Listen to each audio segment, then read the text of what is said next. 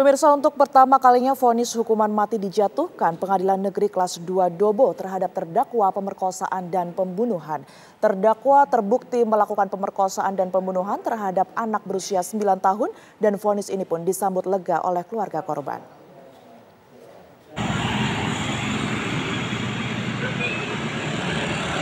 Sidang pemerkosaan dan pembunuhan sadis dengan terdakwa Obed Kopawon di Pengadilan Negeri Kelas 2 Dobo berlangsung secara virtual. Dua, menjatuhkan pidana kepada terdakwa oleh karena itu dengan pidana mati.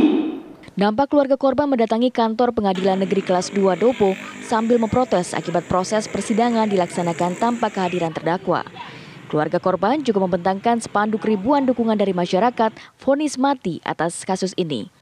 Majelis Hakim Pengadilan Negeri Kelas 2 Dobo menjatuhkan vonis hukuman mati dengan terdakwa kasus pemerkosaan dan pembunuhan Obed Kobawon karena dinyatakan terbukti bersalah melanggar pasal 340 KUHP junto pasal 55 KUHP Undang-Undang Nomor 35 Tahun 2014 tentang perlindungan anak. Vonis tersebut lebih berat dari tuntutan JPU yakni hukuman seumur hidup. Sebelumnya pemerkosa dan juga pelaku pembunuhan korban CBL 9 tahun terjadi pada hari Minggu 21 Agustus 2022 di kawasan Jalan Rabia Jala, Kelurahan Siwa 5, Kecamatan Pulau Aru, Kepulauan Aru, Maluku. Pertimbangan hal-hal yang memberatkan antara lain perbuatan terdakwa dilakukan secara sadis, perbuatan terdakwa mengakibatkan duka yang mendalam bagi keluarga korban.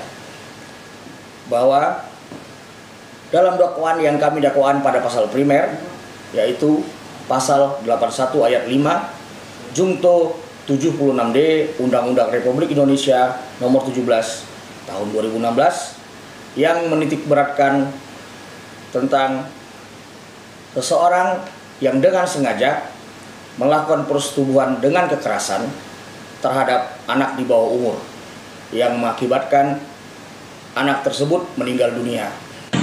Yang menimpa anak saya. Uh, sekaligus apresiasi saya juga sampaikan kepada pihak kejaksaan negeri Dobo dalam hal ini Pangkas Jaksa Penuntut uh, Jaksa Penuntut uh, luar biasa kinerja daripada uh, jaksa maupun majelis hakim pengadilan negeri Dobo. Pihak keluarga memberikan apresiasi tinggi atas kinerja pengadilan kelas 2 Dobo dan Kejaksaan Negeri Kepulauan Aru atas vonis hukuman mati terhadap terdakwa.